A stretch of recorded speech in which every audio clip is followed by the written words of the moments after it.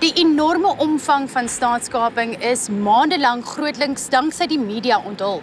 Nou het die parlement self ingespring om ook die kwessie te ondersoek. Geen individu is tot dusver strafregtelik vervolg nie, maar as dit van parlementslede soos Natasha Mazzoni van die DA afhang, sal dit binnekort begin gebeur. Mazzoni is 'n lid van die portefeulje komitee oor openbare ondernemings wat staatskaping by Eskom ondersoek.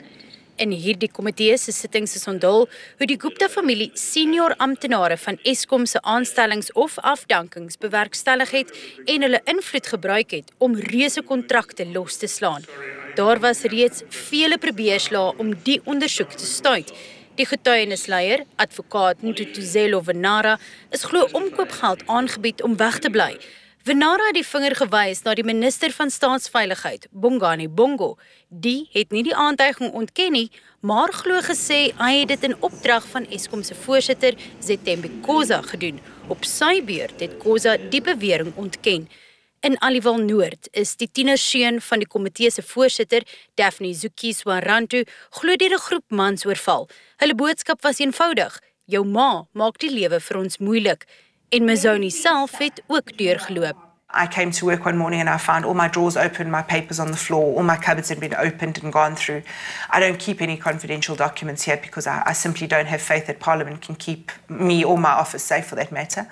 Um, my car had been fiddled with in a very strange manner, uh, with the door left open, the handbrake put down, my car moved, um, and an ESCOM file left on my front seat. Um, I'd been followed in Pretoria. Um, thankfully, I managed to handle the situation in a way that I, I was completely safe. So I think these, these, what, what's been happening is a, a poor attempt at intimidation. It is, however, concerning. So while I'm not scared, I'm certainly not unaware uh, of the possible dangers that lurk. Mazzoni sê sy hoop al die onthullings en die werk van die parlementêre komitees bring staatskapers se dag van afrekening nader. En hoewel niemand nog vervolg is nie, sê sy die stryd teen staatskaping kan gewen word. We South Africans, we can win anything. We've stood up to the grossest abuses of human rights we've ever seen. If we as South Africans haven't proved that we are capable of anything, then I don't know what country has. This is our moment and it's now time for South Africa to rise. Inge, hierdie parlementêre proses het al ernstige onthullings uitgekrap en 'n mens sou seker kon verstaan waarom die minister van staatsveiligheid Bongani Bongo dit wou stuit. Absoluut. Kyk, hulle het hulle het eintlik al hulle het al 'n maand terug of 2 maande terug probeer alles probeer in hulle vermoë om te keer dat dit gebeur. Eerstens deur te probeer om dit intern in die ANC gestop te kry sodat dit nie aangaan nie. En toe dit nou nie werk nie, toe gebeur hierdie hierdie hierdie hele ding wat 'n geweldige verleentheid is vir almal wat wat gebaat het by die katnes wat ehm um, wat Eskom is. So ehm um, en dis op absoluut op die verkeerde tyd. Dit is so kort voor die ANC konferensie. Niemand wil hierdie slegte bemarking hê wat eintlik nou wat net weer wys ehm um, hoe dinge verval het in hierdie land onder president Zuma. So en wat wat regtig dit jy weet net meer bedenkinge veroorsaak oor of hy of hy of sy ehm um, gesalf dis of die of die res van sy ehm um, van sy orde wat hy daar gestel het of hulle ehm um, in die regte posisie is om die land te lei en wanneer dit by die ANC mense kom wat moet gaan stem of hulle die regte mense is om die ANC te lei en wat die gevolge vir die ANC sal wees. So dis so die verkeerde tyd en dit is hoekom die geveg so groot is. Jy het nou ook verwys na die pro Zuma caucus in die parlement wat hmm. vooraf hard geveg het om hierdie hele proses te keer. Dink jy ons moet daarin lees dat hulle wel bekommerd was oor wat in hierdie parlementêre ondersoek sou uitkom? Absoluut. Jy weet toe onthou jy toe ehm um, Pravin Gordhan sy ehm um, afgedank is. Sy het hy in sy toespraak daarna gesê en hy het dit sedertdien al baie keer herhaal.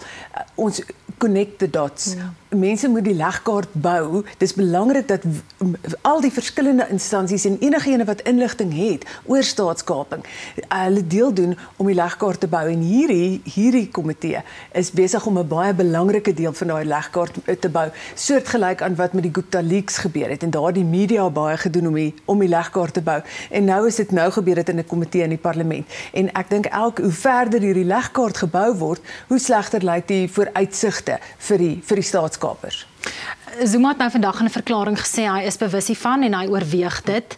Ehm um, hy het tog vir Bongo nie nie te lank gelede in hierdie portefeulje ingesit nie. Dink jy dis nou 'n geval van jy weet jy kon nie hierdie vir my ehm um, verseker nie. Jy kon nie die proses tyd nie en en nou is die weg gebaan dat ek jou moontlik gaan straf. Kyk, daar's geen twyfel nie dat hy vir vir Bongo daar in daai portefeulje gesit het omdat hy hom daar vertrou en omdat hy glo dat hy die regte ding gaan doen wat in sy belang gaan wees. En ek het 'n vermoede hy gaan probeer om hom nog langer te beskerm. Jy weet, ek ek kan nie ek kan nie sien dat hy nou môre gaan sê, "O ja, kom ons gaan jou ons gaan nou van jou ontslaa raak nie." Dis net eenvoudig nie hoe dit gebeur nie.